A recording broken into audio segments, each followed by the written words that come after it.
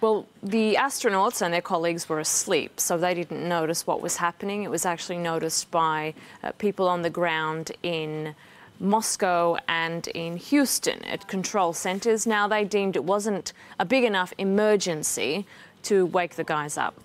They woke them up in the morning, not quite to say, Houston, we have a problem, but there was, yes, a small problem on board.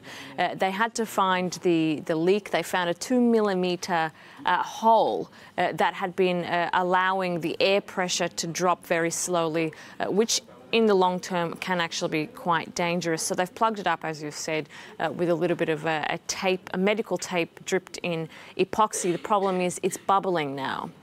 So that means that it may or may not hold. They're monitoring the situation to see what's going to happen. Now, it's in a part of the aircraft, the Soyuz crew vehicle, which uh, they need, the upper part of the vehicle. They use this when they go to and from the space station. Now, they came in June. Three of these members are set to depart in December back to Earth. So they're going to have to figure out a way uh, to permanently fix this situation by that time so that they can actually get back uh, into our atmosphere.